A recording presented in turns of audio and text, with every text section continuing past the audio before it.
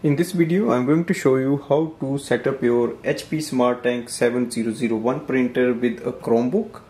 Now first thing is to make sure your Chromebook is connected to Wi-Fi network of your home or office. To connect this printer with the Wi-Fi you can use an iPhone, Android phone or laptop or computer. Now the first thing is to enter this printer into the setup mode. So go to the control panel.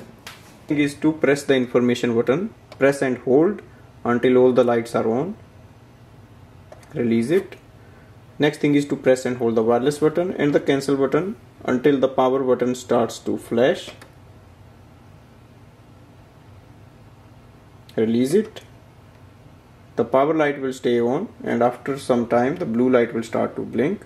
That means printer has entered into the setup mode and now we can start the setup process. So now we can use a laptop to complete the setup and then we will add in the Chromebook.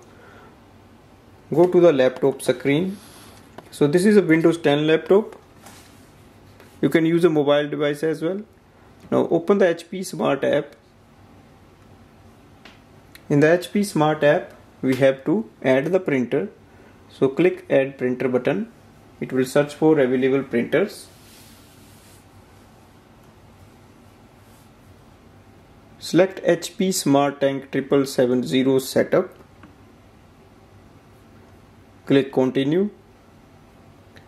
It will display the Wi-Fi network. You can click continue. It will access the password automatically or you can fill in the password yourself. You can select any option. Now press the information button on the printer screen.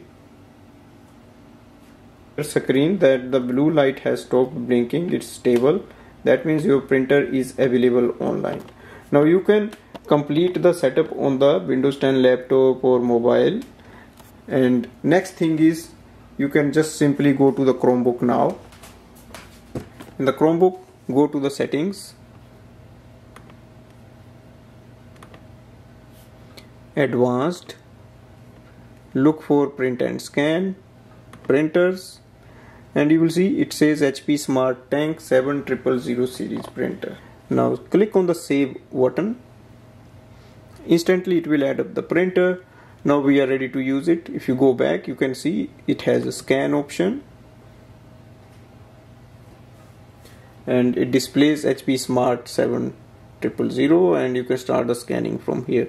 Now if you want you can also do the printing. Select any document you want to print and give a print command for confirmation I'll print a page. For example this one give a print command. On next window you have to select your printer. If you don't see your printer here click on the see more and look for the 7000 series.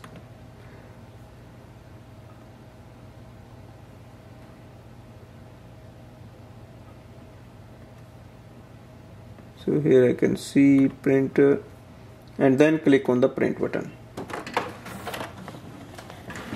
meanwhile you can just complete the setup on the Windows 10 laptop and then we can start using it.